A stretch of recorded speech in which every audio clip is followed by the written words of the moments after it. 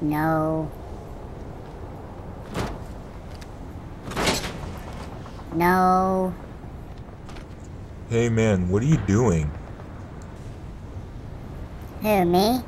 Aw, oh, man, I'm just looking for some smokes. You know, cigarettes, tobacco, that kind of stuff. Yeah, I heard you the first time. But don't you know smoking kills? Kills? Dude, we're at war. We're all gonna die anyways. Doesn't matter. Besides, didn't you hear what happened to the last guy that smoked? Last guy? What last guy? Tell me. Well, it kind of went something like this. Cadillacs the bills, coop the bills, bring dead rims,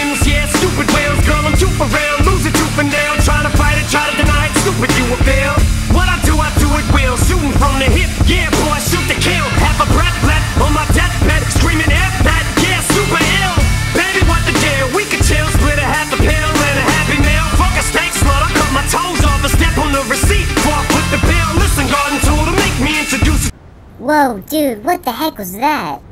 That was what happened to the last guy. I can see that, but I mean, what happened to him? Basically, he smoked his entire life, and the one day when he ran out of smokes, he went crazy and crashed a car over 9,000 times. What, 9,000? Are you serious? No, I was just joking. But that's not my point. My point is, is that you shouldn't smoke, because it will cause you to do crazy things, it will make you do dangerous things, and it will end up killing you in the end.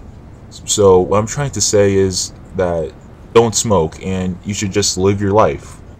Uh, uh wow, man. You're right. I should live my life. I don't want to end up like that last guy. And most importantly, I don't want to end up being the new last guy. And just have lost the lead. Yeah, headshot.